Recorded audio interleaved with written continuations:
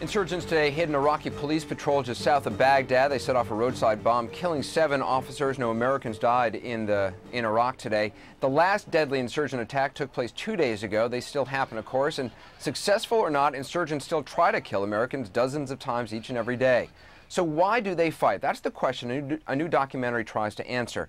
Two journalists spent 10 months in 2003 in the earliest days of the insurgency doing something that few others have been able to. They talked with Iraqis fighting U.S. forces in the streets of Iraq. Now, the film that they made is now being screened by the U.S. military to help inform soldiers about their enemy's perspective. Take a look. Suppose Iraq invaded America and an Iraqi soldier was on a tank passing through an American street, waving his gun at the people, threatening them, raiding and trashing houses. Would you accept that? That's how a Muslim cleric interviewed in the new film Meeting Resistance explained why some in Iraq were taking up arms. In 2003, the picture painted by the Bush administration of the insurgents was that they were dead enders, supporters of Saddam unwilling to give up.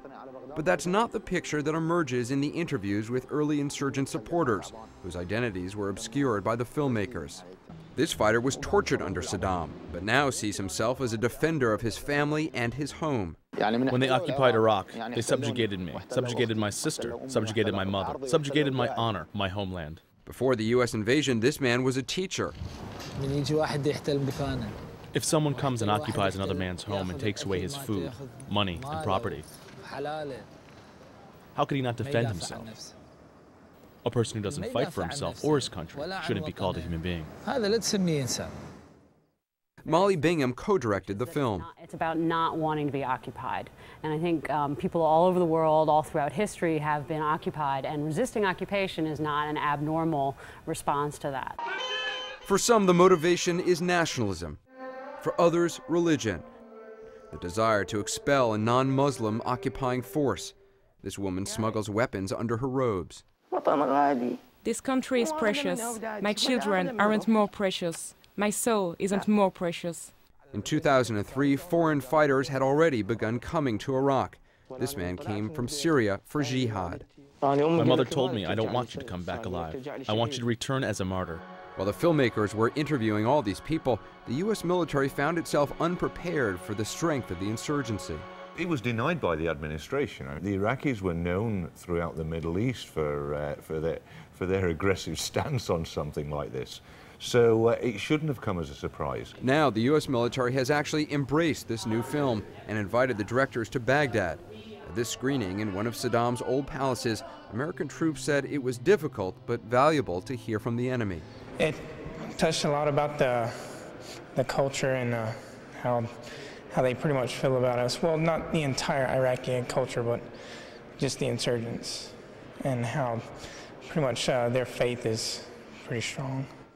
People make choices, they decide what they want to do and why they do it and the reasons they do certain things, but it's hard as a soldier for me to sympathize with what they're doing. What they're doing. Sympathy is not what the filmmakers are trying to get anyone to feel. What they hope these soldiers take away is a fuller understanding of how this insurgency was created and why it's been so hard to stamp it out. Well, the film opens in New York and Washington on Friday, nationwide later this month. CNN's Michael Ware has had a remarkable access to all sides in this war since the earliest days, and as well as some observations about why the insurgency got started in the first place. We're going to hear from him after a very short break.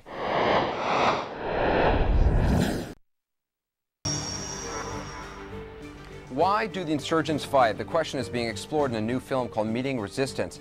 It's also something CNN's Michael Ware has risked his life to do. We spoke to him earlier. Michael, what we see in these interviews with early insurgents is clearly that the presence of U.S. forces was a motivating factor to, uh, in getting a lot of these people to fight against the U.S. How much of the insurgency now is being driven by just the, the, the mere presence of U.S. forces? Well, from day one, Anderson, that's been one of the primary motivations. Certainly for the nationalist insurgency, if that's what you'd like to call it, both on the Sunni side and the Shia side.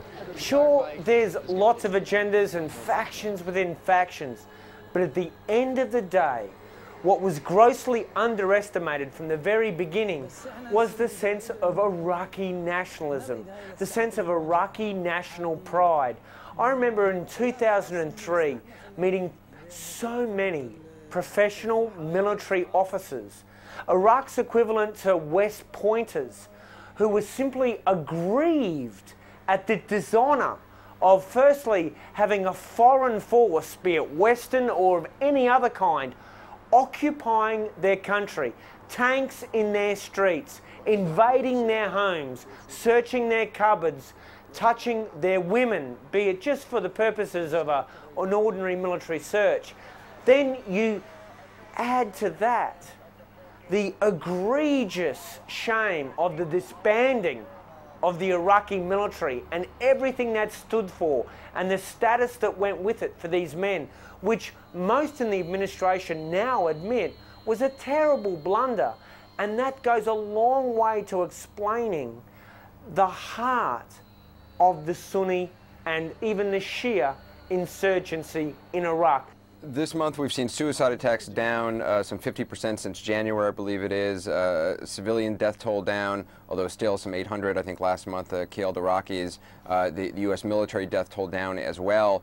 Who is still fighting? I mean, if if Al Qaeda is badly damaged, Al Qaeda in Iraq is badly damaged, as some in the, the U.S. are saying, the Washington Post reporting that's a belief many commanders have. If, if the Sunnis have awoken and have turned against Al Qaeda in Al Anbar and elsewhere, who is it now who's still fighting? Well, the real enemy America has had since the moment it invaded, ignored for years, and only woke up to perhaps a year or so ago. And it's the real winner of all the wars since 9 11, and that's Iran, Anderson. Al Qaeda is under pressure, but it was never going to be the big winner of the Iraq theatre. It was never welcomed, it was only ever tolerated. And the way that Al Qaeda has been put under the pressure it's under is because America finally accepted the deal that the Sunni former military officers offered them four or five years ago. And think about it. Al Qaeda is crippled. We herald this in headlines because it's only down to 30 bomb attacks a month. Can you imagine if there was 30 attacks in Israel every month or America or Australia? Yet we still call that a victory. So Al Qaeda is far from gone. It will always persist. But the great enemy, the one that's fomenting most of the violence and owns the political stage, continues to be Iran, Anderson. Uh, Michael Ware, appreciate the reporting. Thanks, Michael. Thank you, mate.